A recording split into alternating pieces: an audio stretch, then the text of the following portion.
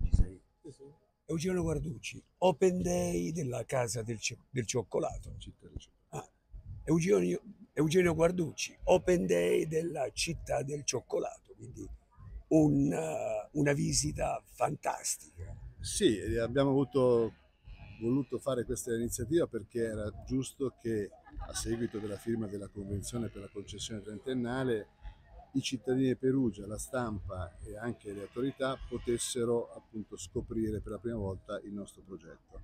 Prima non era opportuno farlo perché non c'erano ancora le formalità per consentirci di aprirci in questa maniera, ma adesso è tutto a posto e i lavori sono iniziati venerdì scorso, siamo nelle condizioni, abbiamo voglia di fare trasparenza sulla progettualità e tra l'altro questo sarà un cantiere che parlerà costantemente con i cittadini, darà aggiornamenti sul nostro sito web, quindi cittadelcioccolato.it.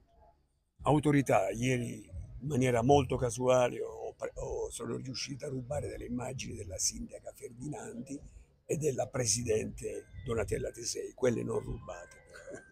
Sì, diciamo che ieri la sindaca Vittoria Ferdinandi ha fatto visita al contenitore, abbiamo illustrato il progetto, eh, mi pare che abbia compreso l'importanza di questa realizzazione, però insomma, eh, sarà lei a, a darvi chiaramente atto di sua, questo suo pensiero. La Presidente Tesei eh, ha fatto visita anch'essa ieri sera e si è soffermata a lungo anche in terrazza per questo evento di Umbra Jazz, Terrazza Swing, ha fatto molti complimenti e siamo felici che insomma, comunque le istituzioni abbiano a cuore, come possono non, avere, non averlo, questo luogo perché è un luogo meraviglioso e lo stiamo riscoprendo proprio in questi giorni.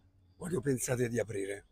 Dunque noi siamo obbligati da bando ad aprire, a finire i lavori meglio entro dieci mesi dall'inizio dei lavori, quindi si parla di un maggio 2025, e da lì alla fine dei lavori abbiamo 45 giorni per richiedere l'agibilità, ma noi contiamo che fine lavori e agibilità coincidano, quindi aprire il prima possibile. D'altronde Giovanni Buitoni quando costruì questo edificio ci mise circa 11 mesi e allora noi dobbiamo essere bravi a fare tutto quello che c'è dentro in 10 mesi.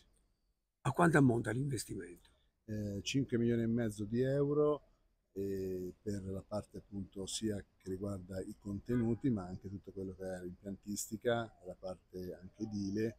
Eh, c'è chiaramente un investimento molto importante su, su temi digitali, eh, quindi sarà un'esperienza immersiva, un progetto che secondo me è molto armonico e completo che consente in un'ora e un quarto, un'ora e mezzo di fare una bellissima esperienza in questa che è una delle capitali del cioccolato nel mondo. Vabbè,